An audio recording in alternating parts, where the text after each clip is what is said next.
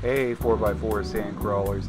Today I'll guide you through snagging your Brigantine Beach 4x4 permit hassle-free.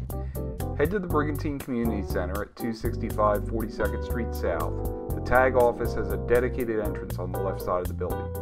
Ensure the names on your insurance, registration, and license match and bring physical copies only, digital not accepted. The cost in early 2024 is $200 before May 1st and $300 after, cash or check only. Inquire about military and senior discounts. True 4x4 vehicles only, all wheel drive is not legal.